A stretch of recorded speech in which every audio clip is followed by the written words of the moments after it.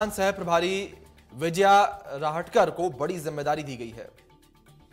विजया राहटकर को राष्ट्रीय महिला आयोग का अध्यक्ष बनाया गया है। ये बड़ी खबर इस बीच सामने आ रही है। केंद्र सरकार ने आदेश जारी किए हैं। राजस्थान सह प्रभारी विजया राहटकर को बड़ी ज़िम्मेदारी दी गई है। ये बड़ी खबर इस बीच सामने आ रही है। विजया राहटकर को राष्ट्रीय महिला आयोग का अध्यक्ष बनाया गया है। ये बड़ी खबर इस बीच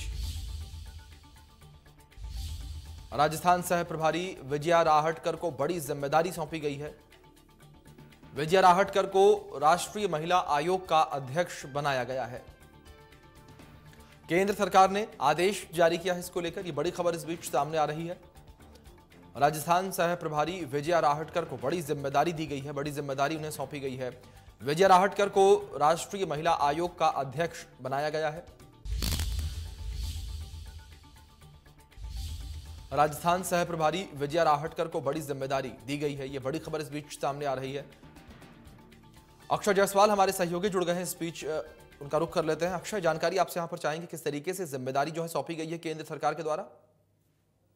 जी देखिए, राजस्थान की सह प्रभारी है विजय राहटकर और अब उनको एक और बड़ी ज़िम्मेदारी दी गई है। केंद्रीय महिला आयोग का उनको अध्यक्ष बनाया गया है, जो कि उनका जो ये कार्यकाल है, वो तीन साल का रहेगा। केंद्रीय महिला आयोग का अध्यक्ष बनाए जाने के बाद राष्ट्रीय महिला आयोग का अध्यक्ष बनाए जाने के बाद उनको राज्य मंत्री का केंद्रीय राज्य मंत्री का दर्जा मिलेगा और ये जो कार्यकाल है उनका तीस तीन वर्ष का रहने वाला है। आपको बता दें कि जो विजया राहटकर है महाराष्ट्र से बिलोंग करती है और महाराष्ट्र में भी पहले भी वो महिला आयोग की अध्यक्ष रह चुकी है। वहीं साथ ही राजस्थान की प्रदेश की सह प्रभारी है भाजपा की वरिष्ठ नेता मानी जाती है और पिछले कई समय से राजस्थान में काफ़ी एक्टिव देखने को मिली थी। तो मान सकते हैं कि आज विजय राहत को विजया राहटकर को बड़ी ज़िम्मेदारी यहाँ पर दी गई है। जी। जी बिल्कुल।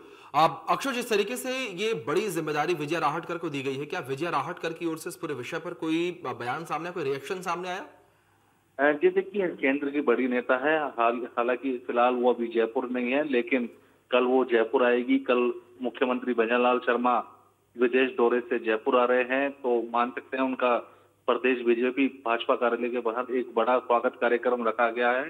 तो मान सकते हैं कि विजय राहटकर भी इस कार्यक्रम में मौजूद रहे। तो कल देखना ये होगा कि विजय राहटकर उस कार्यक्रम में आती है, नहीं आती है तो ये देखने वाली बात होगी। जी। जी। अक्षय बहुत शुक्रिया आपके जुड़ने के लिए और तमाम जानकारियों के लिए भी।